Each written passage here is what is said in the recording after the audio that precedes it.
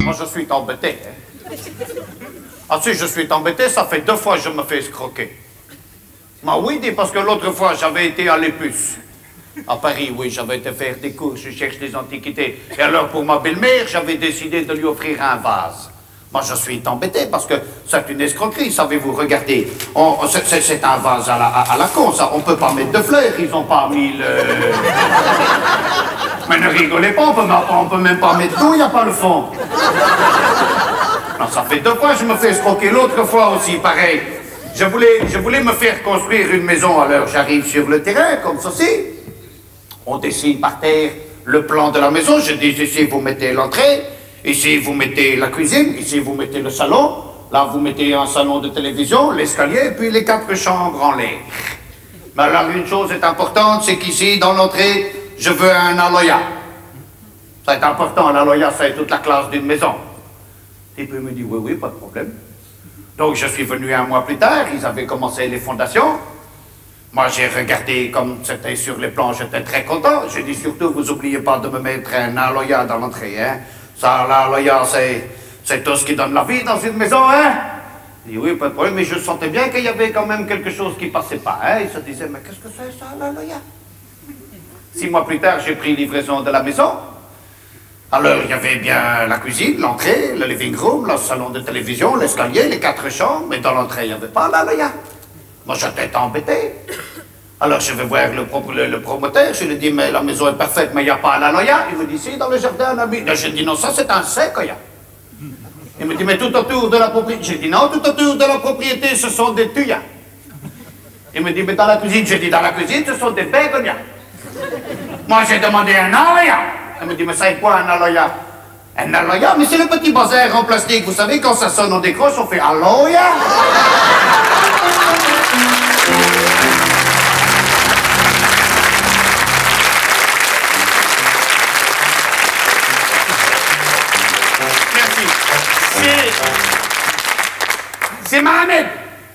Wamchou. C'est Mohamed, il a décidé de rentrer dans l'armée française. C'est Wamchou. Alors, elle arrive à la porte de la caserne et voit le mec qui garde l'entrée, c'est-à-dire qui garde le courant d'air. Il fait Bonjour, Wamchou. Je m'appelle Mohamed, je voudrais faire l'armée, la guerre va de votre côté, s'il vous plaît. Je voudrais rentrer de votre côté, l'armée faire la guerre, s'il vous plaît. Et puis il dit, oui, tu vas voir le colonel. Là, elle va voir le colonel, il fait, bonjour, monsieur, je m'appelle Mo- Mohamed, je voudrais faire la guerre. Le type, il dit, pas de problème. Est-ce que tu as déjà fait du vélo? Du vélo, j'ai fait toute l'année du vélo. Est-ce que tu as déjà fait de la photo? Des photos, toute la journée, je l'ai fait les photos. Clic, clac, codage, gueule, l'oiseau qui sort, qui revient dans la maison. Il dit, est-ce que tu as déjà fait du parachutisme Des parachutistes avec les sacs à dos, tu chauffes la poignée, le champignon il sauve. Il me dit alors écoute, c'est ça. Demain matin, tu viens, un avion va prendre, il te décolle, il va te prendre, il décolle. Vous foutez-vous gueule. Un avion décolle, il te prend, quand la lumière clignote, tu sautes, tu ouvres ton parachute, tu prends le vélo qui est en bas, tu vas faire des photos des kibbutz et tu reviens nous dire ce que tu as vu. Ouais, monsieur, j'ai tout compris, je la prends le vélo, je la saute, je fais les photos, je te dis que c'est. Ouais, monsieur. Le v'là qui monte dans l'avion, il a le parachute devant, il a le parachute derrière, et a l'altimètre, n'y a qu'une aiguille, il a cru que c'était la trotteuse, les deux autres étaient en option. La lumière verte, il clignote, le pilote, il y fait saute. Quoi la baisse, yes, je saute. Et je descends, et je descends, et je descends. J'échauffe l'altimètre, je les vois que c'est le moment, je prends la poignée, je poum J'ouvre le parachute, la putain, le parachute, il se fout en tort. Ya wallah, zabrama, kataoual. J'ai des, il n'y en a pas le problème, j'ai des parachutes derrière, je prends la poignée derrière, je poum, j'ouvre le parachute, et un reboucle le deuxième parachute en tort. Voilà putain du matériel français, je suis sûr quand j'arrive en bas, le vélo il est crevé.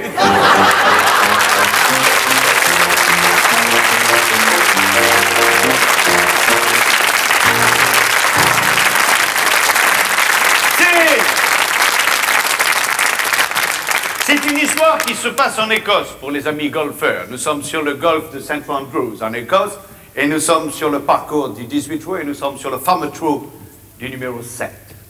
Il y a là un vieux joueur de golf, un vieux joueur de golf anglais, british, avec la chaussure en cuir, avec les petits crampons. Il y a le pantalon de tweed, la chemise de cachemire, la cravate Howell, le gant de club.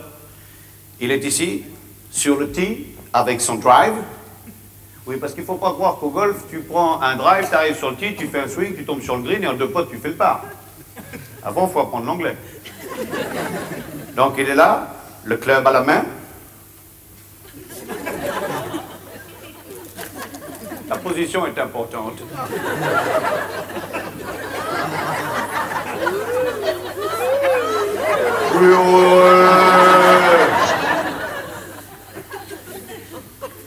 Il vise le green.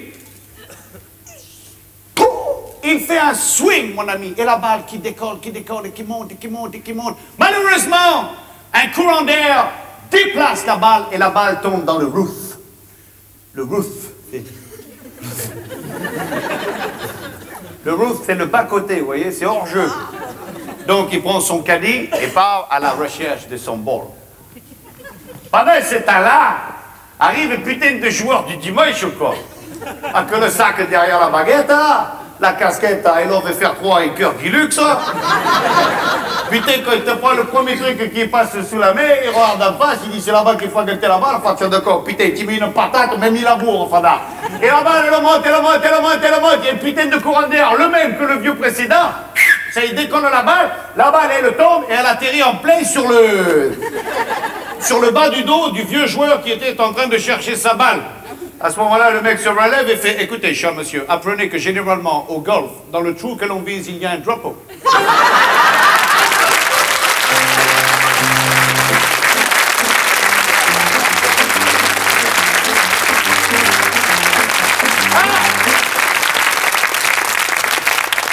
C'est Alfred van der Pen et Lucette van der Pen qui arrivent à Val d'Isère. Alors ils vont à l'école de ski, il fait Bonjour, ma femme et moi nous désirerions avoir le même moniteur que l'année dernière. Ça c'est un moniteur super, ça, une pédagogie d'enfer. Beau gosse et tout. Le type il dit Oui, pas de problème, qui était-ce? Ah bon alors ça c'est le problème, on n'arrive pas à se souvenir le prénom. Mais tout ce qu'on peut vous dire c'est qu'il avait un pull rouge. Il dit, oui, mais enfin, vous savez, il y a 1400 moniteurs et là, à Val on en a 600 avec un pull rouge. Oui, mais lui, sur le pull rouge, il avait une médaille, hein. Il dit, oui, mais ils ont tous la médaille. Il avait un défaut anatomique. C'est-à-dire, on a entendu dire qu'il avait deux...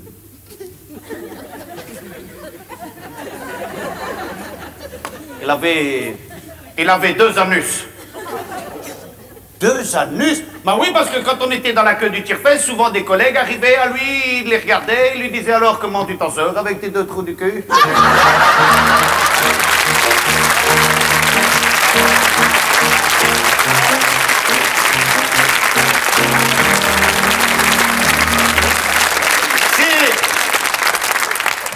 C'est une histoire qui se passe dans le sud de la France, pas exactement à Marseille, mais sur la droite de Marseille. Quand on descend la Canebière et qu'on longe de Vieux-Port, on arrive dans les Calanques, et là, il y a un petit village qui s'appelle l'Estac.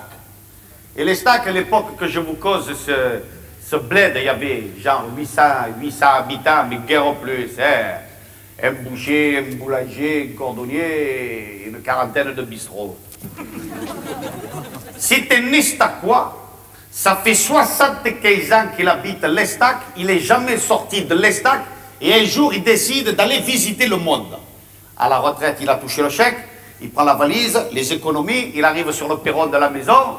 Et là, il se dit où je vais? Et où je vais? Il retourne dans la maison. Sur le, piano, il y avait une marque monde. Il prend la marque monde.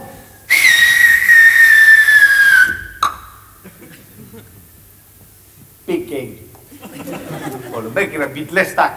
Fait bon, pour Pékin. Il arrive à la gare de l'Estac. Il dit bonjour, je voudrais un billet de train pour Pékin. Comment? Pékin? Oh, qu'est-ce que c'est Pékin? Oh, L'autre, il me parle de Pékin. Qu'est-ce que ça mange l'hiver quand il y a de la neige, ça Pékin? Yo, je te file un billet de train pour la gare Saint-Charles à Marseille. Il faut quelque chose. Pékin, on connaît même pas. Il dit, bah d'accord. Il arrive à la gare de Saint-Charles.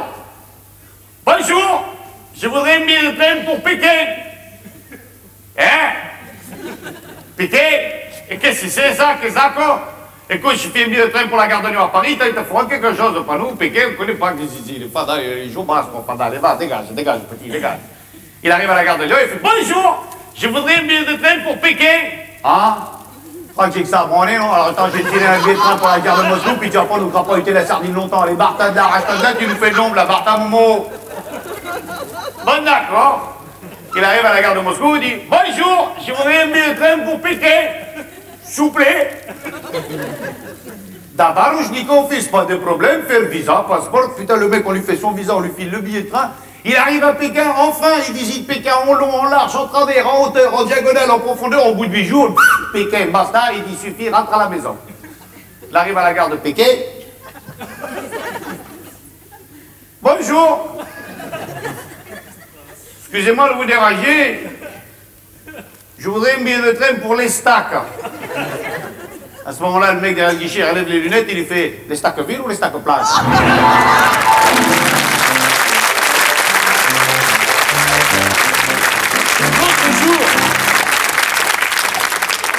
l'autre jour, je rentre chez moi, je mets la clé dans la serrure, et au moment où j'ouvre la porte, j'entends une voix qui fait Coucou Non, c'est la voix qui fait coucou. Hein? J'entends une voix qui fait Coucou Ça, on n'a pas pris le meilleur, mais on n'a pas pris le plus cher non plus. Alors je me retourne, dis Rien, j'étais seul. Je rentre dans la maison, au moment où je vais pour fermer la porte, j'entends la voix qui insiste qui fait Hé Coucou Et sur la rampe du perron de la maison, il y avait une grenouille. Je regarde la grenouille, j'y fais C'est toi qui as fait coucou Elle est là comme ça.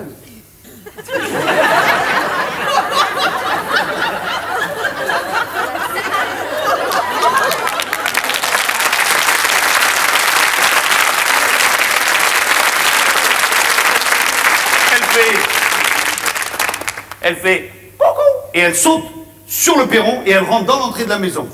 Je lui fais, ben te gêne pas, rentre. Elle me dit, on est chez toi J'ai dit, oui, on est chez moi. Elle, me dit, tu me fais visiter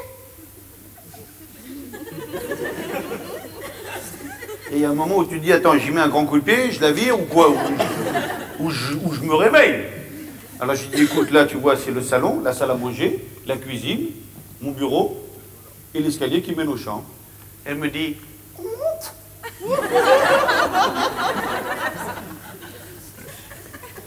Je monte, je fais quelques pas, elle. Elle arrive au premier étage, elle me dit, c'est laquelle ta chambre? Je dis, ben là c'est la chambre d'amis, là c'est la chambre des enfants, et là c'est ma chambre. J'ouvre la porte, en deux bonds elle était sur le lit, elle se retourne, elle se met sur l'oreiller, sur le dos, et elle me dit, embrasse-moi.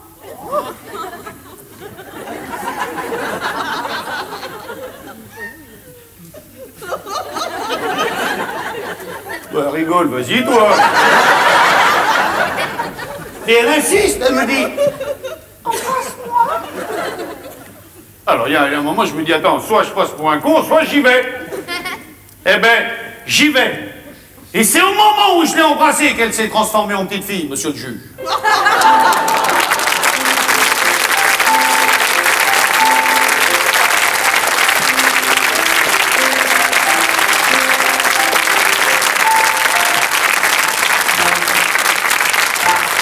C'est un mec. C'est un mec qui arrive dans une banque qui fait euh, Salut la grosse, je voudrais un putain de compte dans ta banque de merde.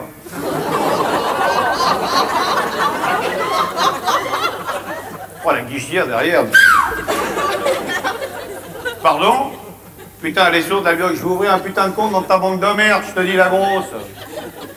Monsieur, je vous prierai de, de- châtier votre langage un petit peu. On est dans une banque, euh, une banque de bonne société, euh, des gens avec un minimum d'éducation. Elle va pomper le nœud longtemps, la grosse, là ouvrir un putain de banque dans un putain de compte dans ta banque de merde Bah, Écoutez, je vais chercher le directeur. Va le chercher, le directeur Et le directeur qui arrive, il fait Monsieur, un problème Il dit Je veux un problème, il y a l'avion qui euh, m'empêche d'ouvrir un putain de compte dans cette banque de merde je dis, monsieur, qu'est-ce qui vous permet de parler comme ça Il dit, ce qui me permet, c'est que je viens de gagner au loto, j'ai 3 milliards à placer. Ah, et c'est cette conne qui vous embête